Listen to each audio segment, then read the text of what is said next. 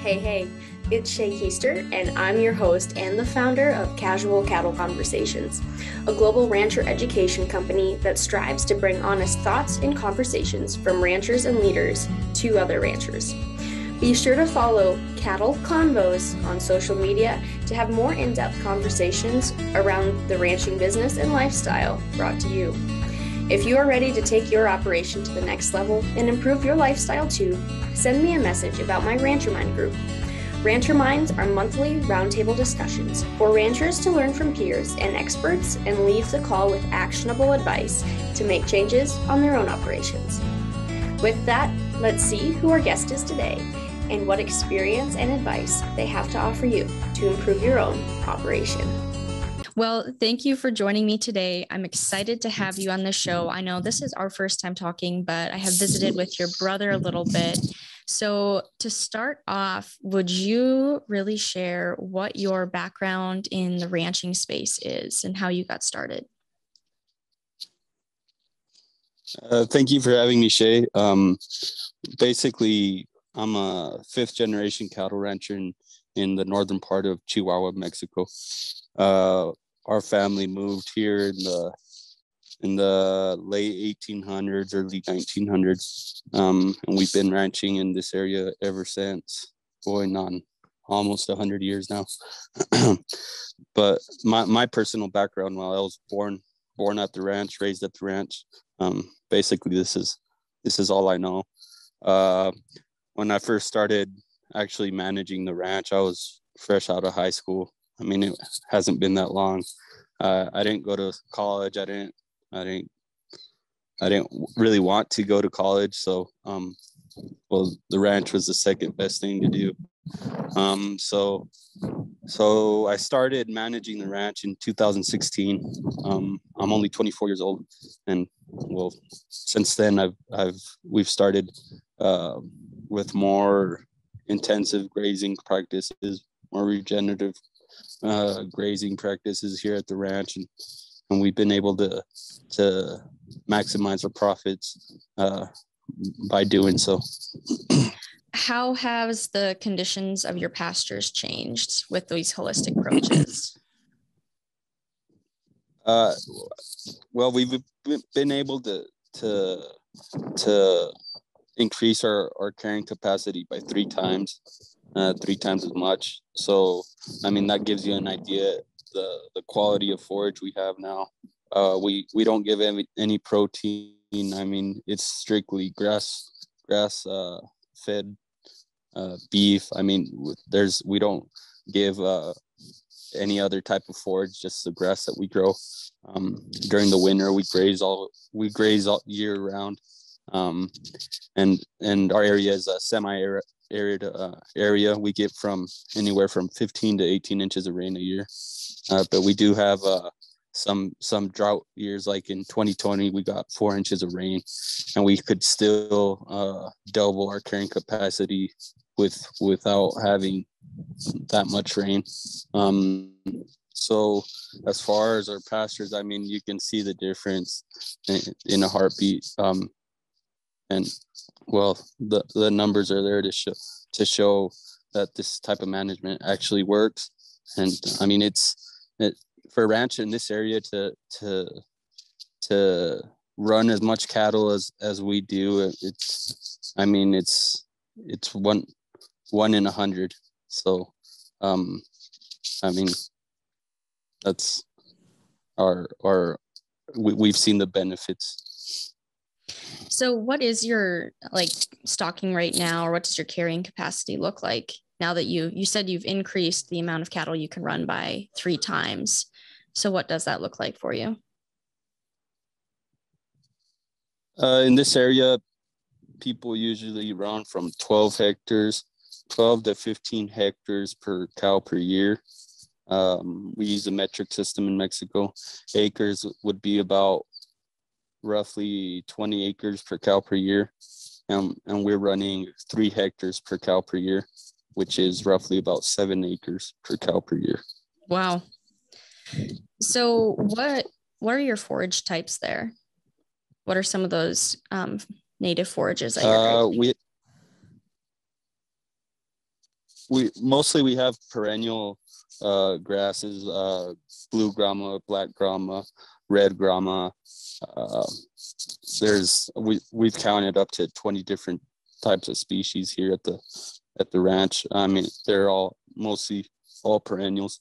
We have very very little annuals. Um, but high quality forages that keep their protein year round, and and with the right rest period, it it, it really helps um, the cattle eat a better diet. Uh, when when when you have, uh, I mean, stockpiled forages, it, it helps their nutrition like you can't imagine. So there are multiple different ways to implement regenerative practices when you look at grazing. What models are you looking at? Um, I'm sure you've kind of adapted it to your own ranch and what works, as many people do. But really, when you say you are implementing regenerative practices, what does that look like for you on a daily basis? Um, here at the ranch, we have over 500 paddocks, uh, give or take. The five all those 500 paddocks, we we we make them uh, year round with polywire. Everything we use is portable, so it has our our our infrastructure is so portable we can pick up and move wherever we want and at a very low cost so we build over 500 paddocks a year we move daily sometimes we move even four or five times a day so it's highly intensive so we can get the best out of the out of our forage, uh, use it properly, and and rest it properly. Also, so out of those 500 paddocks, um, we have a a rotation of about 425 days of rest per paddock.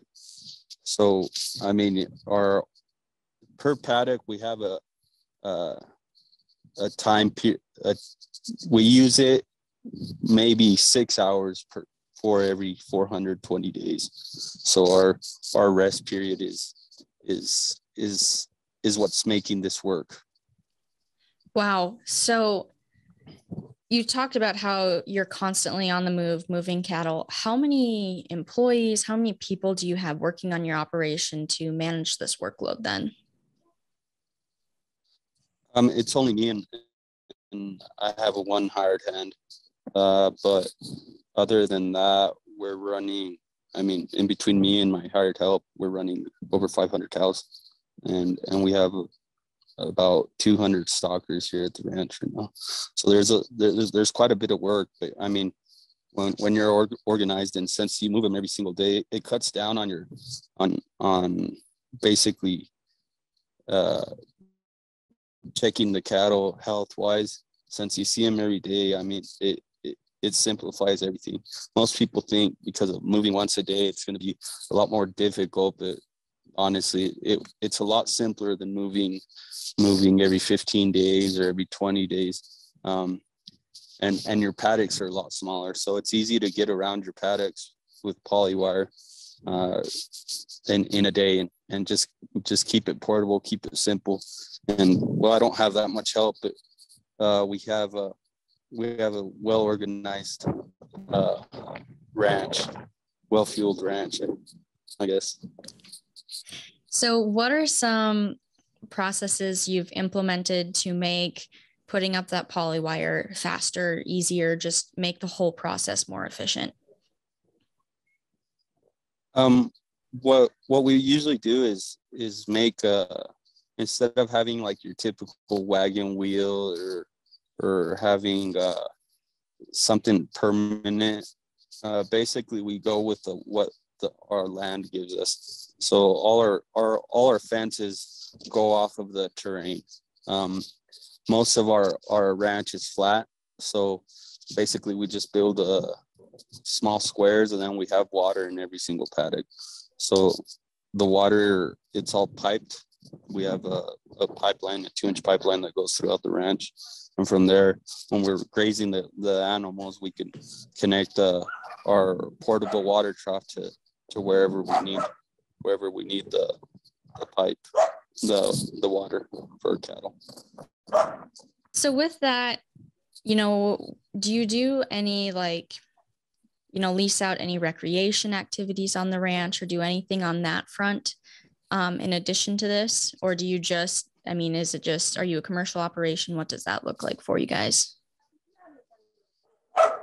Uh, basically, it's it's a commercial operation. What we do, what uh, basically it's cow calf, and um, once we wean our calves, we export them to the U.S. Uh, so we export live cattle to the U.S. Other recreational uh, activities we do. There's a little bit of hunting.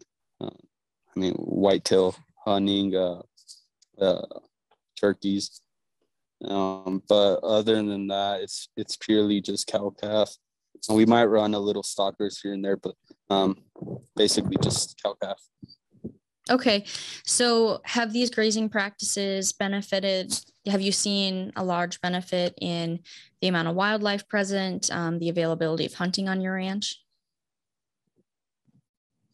Yeah, for sure. I mean, what what's happening? We're basically building a, a microclimate here at the at the ranch that is helping is helping us uh, with all types of wildlife biodiversity um, uh, we're, we also work with a lot of conservation services. Uh, basically, any migratory birds that come to our ranch, it's it's a conservation, so we we can uh, take care of, of of those animals that that need need the habitat. And uh, we've been working with uh, the Rocky Mountain Bird Con- Conservancy for the past four years, I think. And uh, basically, what they do is take care of if all the migratory bird species that come from from the Rockies down to the down to Mexico, and uh, that that's a big part of our our our goal here at the ranch to to well, at least leave what what we have better than we than when we got it.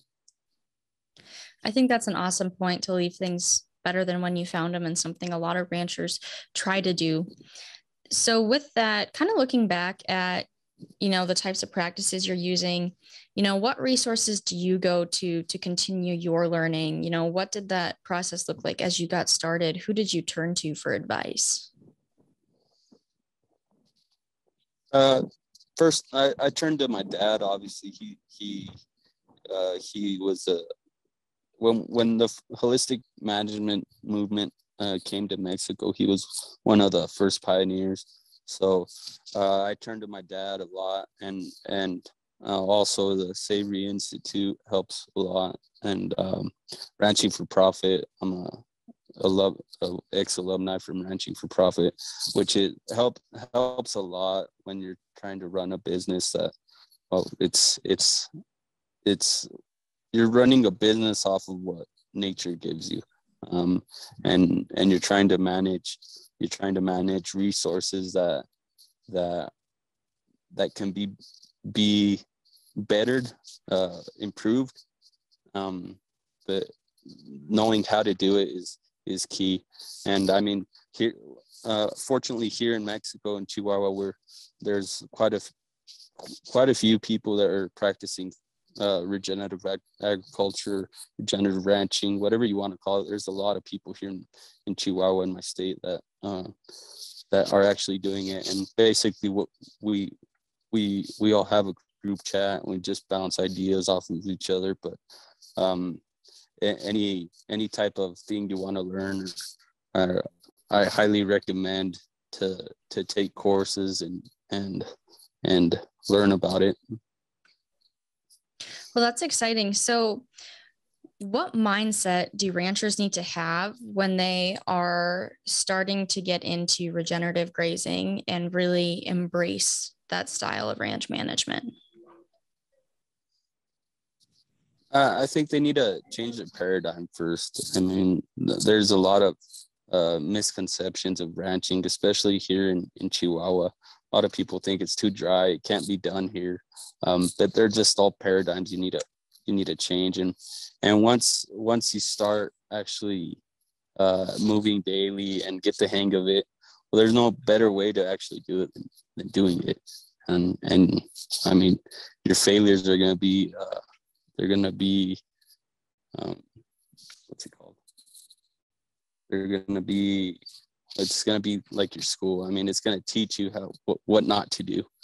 Um, but uh, just changing your paradigms, the way you think is it has has has a lot to do with uh, running a ranch this this way. Well, awesome. Do you have any last advice for those who are interested in improving their grazing methods or any last comments you'd like to share before we finish up today? Uh, yeah, I mean, a lot of people get stuck on on yeah, I want to do the change, and but they don't know how to start the change. Um, I would recommend getting getting a consultant, having someone consult you first, so so you don't make the same mistakes like I did or or, or anyone else did. And uh, yeah, some people might say the consultants are are are expensive or they charge too much, but he'll give you a helping hand once you start. And then once you're once you have a consultant, then then I I highly recommend uh, uh keeping everything portable I mean, there's no sense in in dumping a bunch of money when when you can actually do it with portable polywire, portable posts. Um, so so you're gonna basically be changing one thing for another. You're gonna be changing sweat for for an improvement or or changing money for for infrastructure. So I I highly recommend just uh, making everything portable uh, the more portable you have it, the more flexibility you have to to graze wherever you can or or or in points of opportunity throughout your ranch. Um, but other than that, I mean, just it's time to change the way we think and it's time to change the way we ranch. Well, awesome. Thank you very much for joining me today. I'm excited to share this with my audience and appreciate all that you had to share. Thank you for having me, Shane. And that's a wrap on that one. Be sure to let me know your thoughts on the episode and if you have any further questions around the topic. Take care and have a great day.